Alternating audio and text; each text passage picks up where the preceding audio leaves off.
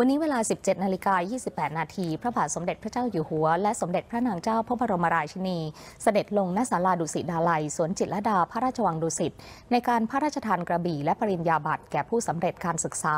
จากโรงเรียนในร้อยพระจุลจอมเกล้า โรงเรียนในเรือ โรงเรียนในเรืออากาศ นวมินทรกษัตริยาธิราช วิทยาลัยแพทยศาสตร์ พระมงกุฎเกล้า และสถาบันการศึกษาทางทหารต่างประเทศ ประจำปีการศึกษา 2561 โดยในปีนี้มีผู้สำเร็จการศึกษารวมจำนวนทั้งสิ้น 426 นาย โอกาสนี้พระบาทสมเด็จพระเจ้าอยู่หัวพระราชทานพระบรมราโชวาทแก่ผู้สำเร็จการศึกษา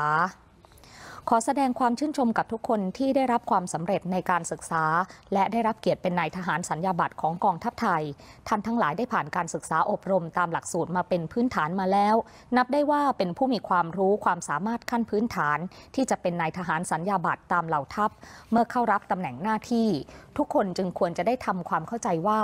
ในทหารนั้นต้องเป็นทั้งตัวอย่างและผู้นำที่ดีกล่าวคือ ต้องตั้งใจปฏิบัติหน้าที่ให้เต็มกำลัง ตลอดจนหาประสบการณ์เพิ่มเติม และหมั่นศึกษาเพิ่มพูนความรู้ความชำนาญ เพื่อพัฒนาตนและหน่วยงานให้ก้าวหน้าอยู่เสมอ อีกทั้งต้องสังวรระวังความประพฤติปฏิบัติให้อยู่ในระเบียบวินัยอันดี เป็นตัวอย่างและมาตรฐานของหน่วย มีความอดทนเสียสละ สุจริตและซื่อตรงต่อตนเองต่อผู้อื่น และต่อหน้าที่การงาน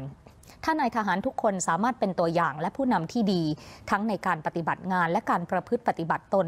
งานทุกส่วนของกองทัพก็จะดำเนินก้าวหน้าไปอย่างราบรื่นและมีประสิทธิภาพ ซึ่งจะอำนวยผลให้ชาติบ้านเมืองของเราตั้งมั่นอยู่ด้วยความผาสุกสงบ และมีความเจริญรุ่งเรืองตลอดไป ขออวยพรให้ผู้สำเร็จการศึกษาทุกคนประสบความสำเร็จในชีวิต มีความเจริญรุ่งเรืองในราชการ และขอให้ทุกท่านที่มาร่วมในพิธีนี้มีความสุขสวัสดีจงทั่วกัน